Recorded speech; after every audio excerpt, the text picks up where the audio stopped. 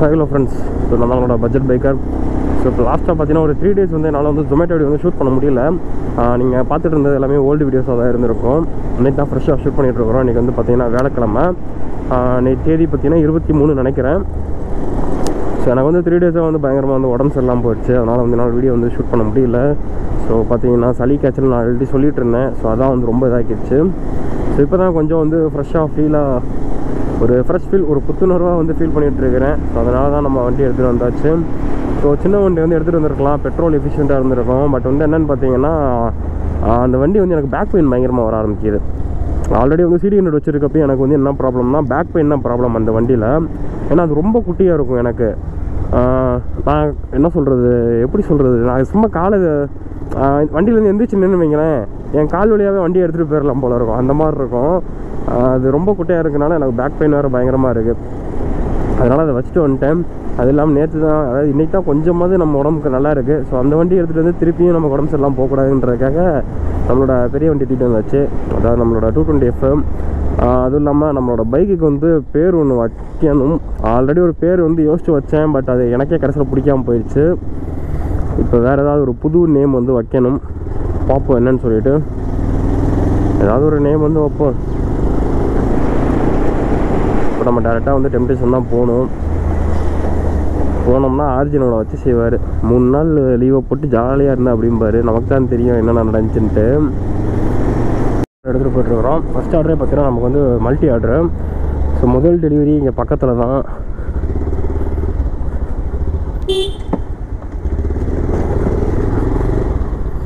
So customer location வந்தாச்சு so நூறு meter கூட இருக்காது.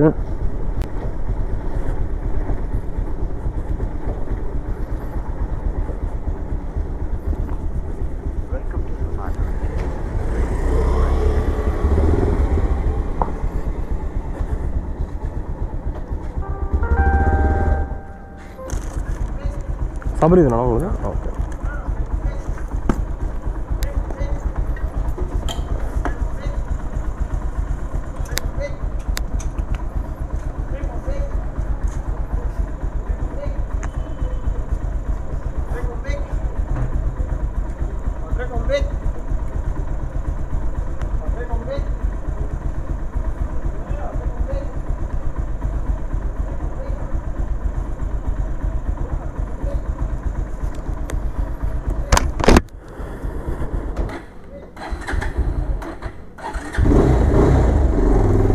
ஓகே எஸ் கிளம்பியாச்சு. ஸோ இப்போ ரெண்டாவது ஆர்டர் கொண்டு போய் டெலிவரி பண்ணலாம். ரெண்டாவது ஆர்டர் எங்கேன்னு பார்த்தீங்க அப்படின்னா நான் படித்த காலேஜ் பக்கத்தில் தான் டெலிவரி அந்த காலேஜ் கிட்டே போனாலே நான் ஒரு மாதிரி டிப்ரெஷன் ஸ்டேட்டுக்கு வந்து நான் வந்து போயிடுவேன் அது அந்த மாதிரி ஒரு இது. ஒரு மாதிரி இதாகிருவேன் நான். அந்த காலேஜ் கிட்ட போயிட்டு அப்படின்னாலே. அதனாலே மேக்ஸிமம் அந்த காலேஜோட என்ட்ரன்ஸ் கூட நான் பார்க்க மாட்டேன். ஸோ காலேஜ் விட்டு தூக்குனது தான் காரணம். ப்ரோ அப்படிலாம் கேட்டீங்க அப்படின்னா அதுக்கெலாம் யார் கவலைப்படுவா? ஸோ காலேஜ் விட்டு தூக்குறதுக்காகலாம் நான் வருத்தப்படல. அங்கே நமக்கு வந்து வேறு ஒரு விஷயம் நடந்துச்சு. அதனால் வந்து நம்ம அங்கே போனாலே நமக்கு அந்த பழைய மெமரிஸ் எல்லாமே திரும்பி வந்து வர ஆரம்பிச்சிடும் இந்த ரோட்டில் வந்து பார்த்திங்கன்னா எனக்கு நிறைய மெமரிஸ் வந்து இருக்குது ஹாப்பி மெமரிஸும் இருக்குது சேட் மெமரிஸும் வந்து இருக்குது ஹாப்பி மெமரிஸ் பார்த்தீங்கன்னா ஒரு கொஞ்சமாக இருக்கும். ரொம்ப ரொம்ப கொஞ்சமாக ஒரு பாயிண்ட் ஃபைவ் பர்சன்டேஜ்னு வச்சுக்கோங்களேன். சேட் மெமரிஸ்னு பார்த்தீங்க அப்படின்னா ஒரு நைன்டி நைன் பாயிண்ட் ஃபைவ் பர்சன்டேஜ்னு வச்சுக்கோங்க. அப்படி தான் இருக்கணும் நமக்குங்க ஏன்னா அந்த அளவுக்கு வந்து நம்மளை வந்து கஷ்டப்படுத்திட்டாங்க. கஷ்டப்படுத்தி என்ன சொல்கிறது அதான் நமக்கு வந்து பெருசாக கஷ்டமாகவே தெரியல. பட் இருந்தாலும் என்ன பண்ணுறது நம்ம உண்மையாக இருந்துட்டோமே.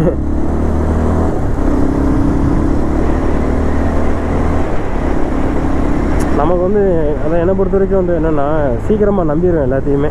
அதுதான் என்கிட்ட இருக்கிற ஒரு பெரிய மைனஸு சீக்கிரமாக நம்பிடுவேன். சீக்கிரமாக ஒருத்தவங்க மேலே வந்து அன்பு வச்சுருவேன்.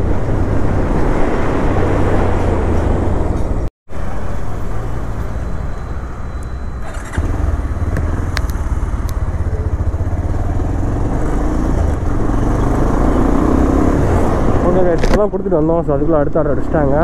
ஸோ நான் அதுக்கு முன்னாடி பேசிகிட்டு இருந்திருப்பேன். ஏதாவது லவ் ஃபெயிலியரில் ஓரா ஸோ அதெல்லாம் வந்து நீங்கள் எதுவும் மனசில் வச்சுக்காதீங்க. என்னோட ஃபீலிங்ஸ் வந்து என்னோட போகட்டும். அது உங்களை எதையும் பாதிக்கக்கூடாது. ஸோ சரி நான் அப்படியே ஏதோ பேசணும்னு நினச்சி நான் பேசிட்டேன் இது அதை அப்படியே லீவ் விட்டு விட்ருங்க இப்போ நம்ம அப்படியே ஜாலியாக வழக்கம் போல் விளாக் ஸ்டார்ட் பண்ணுவோம். ஸோ இப்போ நம்ம மீனாட்சி பவன் வந்து போயிட்டு இருக்கிறோம். ஸோ மீனாட்சி பவன் போயிட்டு ஆர்டர் எடுத்துட்டு தென் திரும்பி பார்த்தீங்கன்னா டெம்டேஷன் தான் வரணும். அங்கே தான் வந்து லொக்கேஷன் வந்து போட்டிருக்காங்க நமக்கு.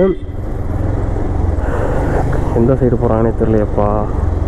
தலைவா தலைவா எந்த சைடும் கொஞ்சம் கை ஓகே. அண்ணே முறுக்கு மிஷினாக வச்சுருக்காப்புல. பேசுனா அடிச்சு போடுவாங்கன்னு நினைக்கிறேன். கிளம்பிடுவோம்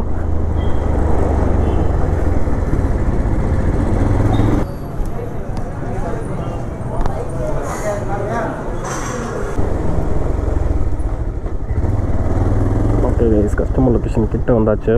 ஸோ கால் பண்ணுவோம்.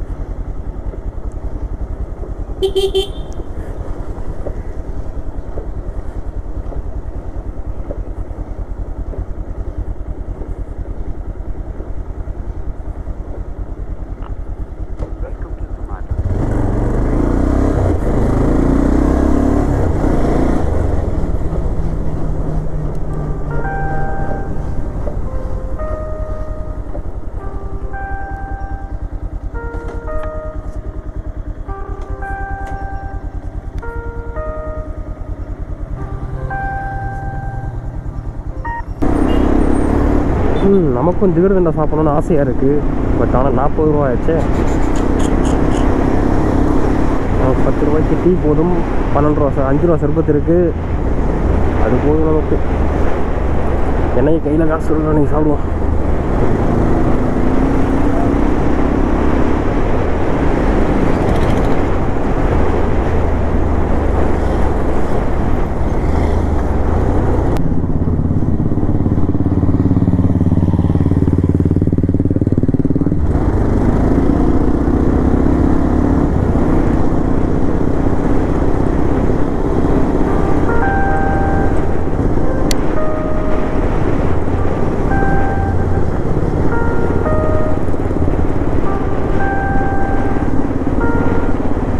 ஹலோ ஆ ஜொமேட்டோவில் கால் பண்ணுறேன் அந்த எஸ்பிசி அகாடமி வெளியே தான் நிற்கிறேன் மேடம்.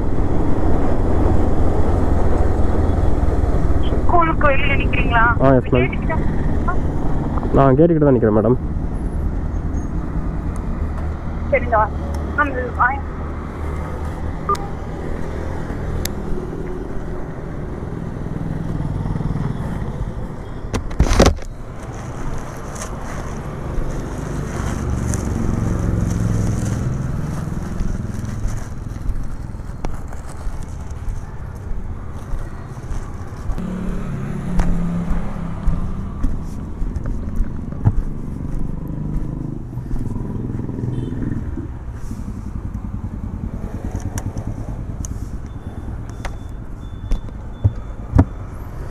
சரி கைஸ் இப்போ அடுத்த ஆர்டர் பார்க்க போவோம். அதுக்கு முன்னாடி போயிட்டு வண்டி பெட்ரோல் பண்ணோம்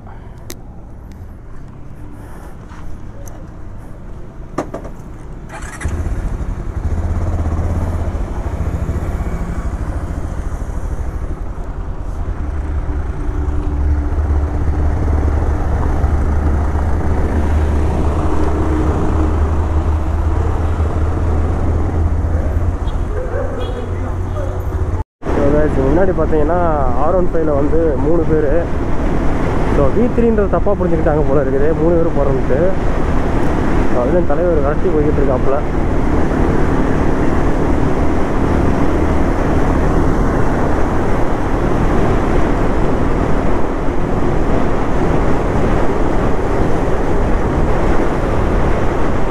அப்படியே சிட்டிக்குள்ளே போவோம். என்னன்னு சொல்லி தெரியல. ஜொமேட்டோ பசங்க நிறைய பேரை காணும். ஒரு லீவ் போட்டாங்க அவ்வளோ இருக்குன்னு நினைக்கிறேன். கரெக்டாக நூறில் ஒவ்வொரு தான் குறுக்க வரும் வணக்கன்ற மாப்பிள்ள அப்படின்ட்டு. வாங்கலாடி.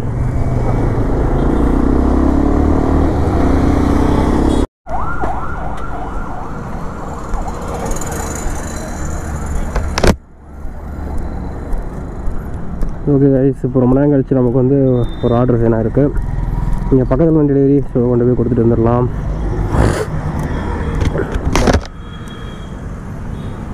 வெக்கதான் பயங்கரமாக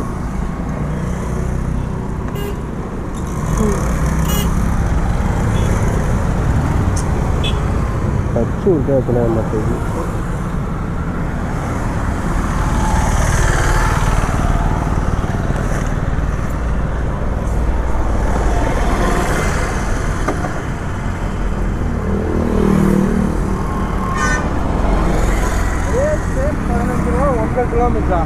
We're done, man.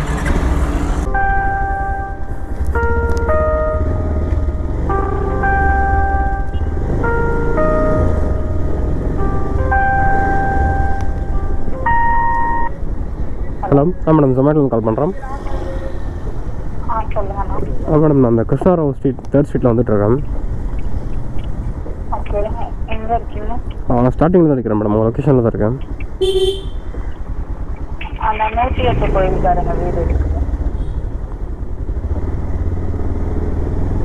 மேடம். ஒரு விநாயகர் ஆ ஆமாம் மேடம். ஆ வெளியே தான் நிற்கிறேன் மேடம். அந்த வாங்க சொல்கிறேங்க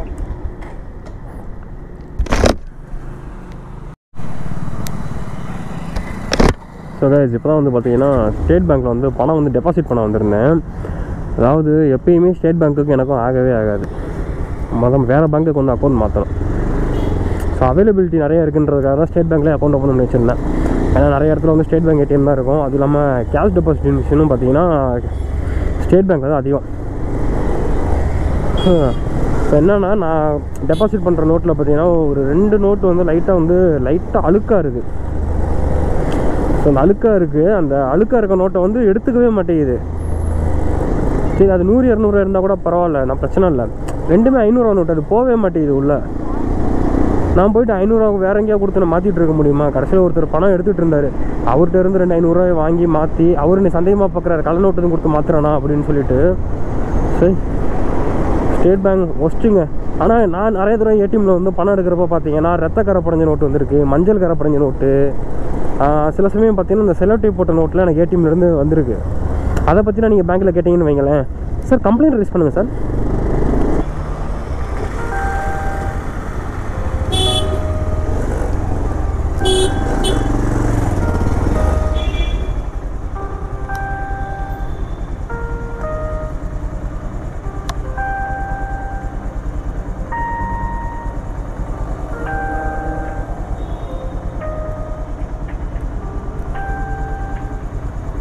ஹலோ? ஹலோ ஆ மேடம் ஜொமேட்டோ கால் பண்ணுறேன். சார் வேஸ்ட் கார்டு கொண்டு வந்துருங்க சார். ஆ உள்ளே தான் நிற்கிறேன் மேடம். போன எடுத்துட்டா கடைசி வீட்டுக்கு முன்னாடி வீடு. எடுத்துட்டு போ. வெளியே வராங்க. எவ்வளோ பாப்பா? எவ்வளவு? நூற்றி ஐம்பது ரூபா இருக்கான் எவ்வளவு?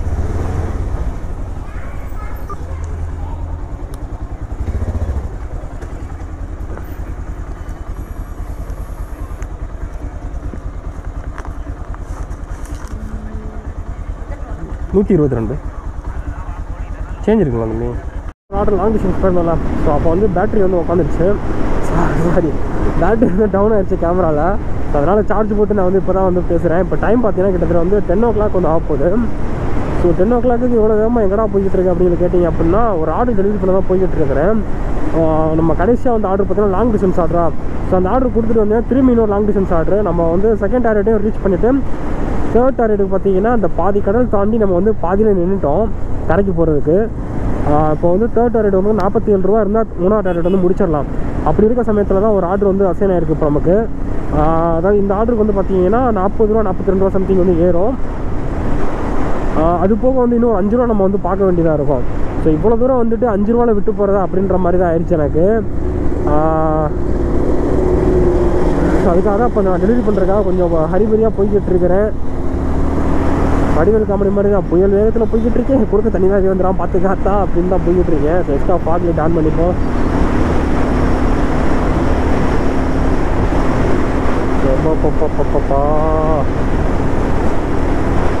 அஞ்சு ரூபால டார்கெட் போகுது அப்படின்றனா ஐயோ அப்படின்ற மாதிரி ஆயிருமே. ஸோ இந்த ஆர்டர் அப்படியே நாற்பத்தேழு ரூபா ஏறிடுச்சு அப்படின்னா செம்மையாக இருக்கும். அப்படியே சாப்பாடு ரெண்டு ரூம் போயிடுவேன் இல்லைன்னா நைட்டு பதினோரு மணி பதினொன்றரை வரைக்கும் அஞ்சு ரூபாய்க்காக வெயிட் பண்ணிட்டு இருக்கணும். அதுவும் ஆர்டர் அசைன் ஆனால் மட்டுமே தான் இல்லைன்னா சுத்தமாக முடியாது. இல்லைங்களா நான் முன்னாடி டார்கெட் முடிப்பேன்னு கூட நினச்சி கூட பார்க்கல. பட் பெட்ரோல் வந்து முந்நூறுரூவா பெட்ரோல் ஆகி போச்சு ஸோ அதனால் வந்து நாலுலேருந்து நம்மளோட சின்ன கவுண்டர் இருக்கு அப்பல இல்லை. டிஸ்கவர் பண்ணலாம். செல்லக்கொட்டி மைலேஜ் கிங்கு அவரை தூக்கிட்டு வந்துட வேண்டியதான்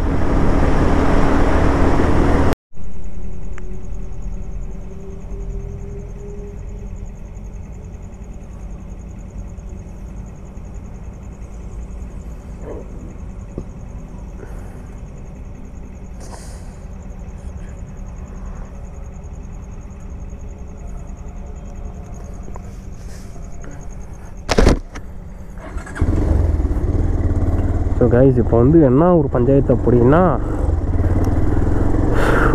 ஜொமேட்டோ வேலையை பார்த்துட்டாங்க. முப்பத்தி ஏழு ரூபா தான் கொடுத்துருக்காங்க கைஸ் மொத்தத்துக்கு. ஐயோ இன்னும் பத்து ரூபாய்க்கு நான் எங்கிட்டு போகிறது ஸோ கைஸ் பார்க்குறேன் என்னன்னு சொல்லிட்டு ஆர்டர் வந்துச்சுன்னா அவங்களை நான் கன்டினியூ பண்ணுறேன் பத்து ரூபாவில் டார்கெட் மிஸ்ஸா அப்படின்ற மாதிரி ஆகுது. விடுங்க போகிற வரல ஏதாவது ஒரு ஆர்டர் அடிக்கும்னு நினைக்கிறேன். பார்க்கலாம் என்ன நடக்குதுன்னு சொல்லிட்டு.